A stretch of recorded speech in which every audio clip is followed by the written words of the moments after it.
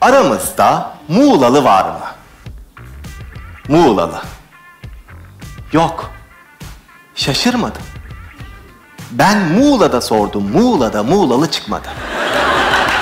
Şu adama arabanda evinde rastladım mı radyoda? Saatlerimiz 18.23.